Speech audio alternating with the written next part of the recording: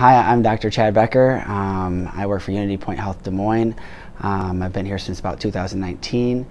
Um, I took a trip over to Ukraine with my dad, and my dad uh, works for UnityPoint Health in uh, Eastern Iowa. He works with uh, Jones Regional and St. Luke's Hospital on the board. Um, working overnight, I just got an email about 2 o'clock in the afternoon, and my dad said, Hey, one crazy guy to another crazy guy. Um, you want to go to Ukraine to bring some medical supplies. And then so we brought over about 200 pounds of, of medical supplies. We had people donate from all around Iowa. So we brought um, ACLS medications like epinephrine, atropine, bicarb, um, different drips. We brought a bunch of uh, pain medicine. I probably bought, I don't know, $500 worth of Motrin and Tylenol and aspirin and stuff to bring over in a different bag. Um, I think Stryker gave us a bunch of surgical towels, surgical supplies.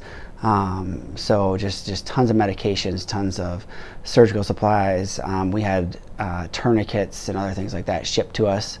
Some of them went to the military hospital. Some of them went to the regular hospitals in Lviv, and then other supplies that were needed more on the front lines. The tourniquets, the blood clotting stuff, all of that kind of stuff went um, out to the front lines.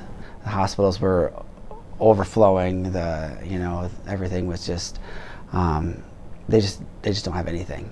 You know, so everything that we take for granted here in America that we have epinephrine and we have drips and we have Tylenol and Motrin for kids and stuff like that, they just have nothing because all of the refugees are coming and they don't bring their medicines, they don't have everything because they have to get out very quickly. So now they have all the medicines have been absorbed through Europe, so Europe really has nothing to give them. So they were just they were sourcing everything from America and, and shipping it there for thousands of dollars a box. So um, it was really nice that we could bring so much stuff over.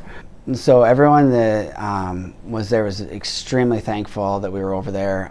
It felt very good to help out in that kind of way when people just just don't have anything, and and to just bring anything at all that can help them was, was wonderful.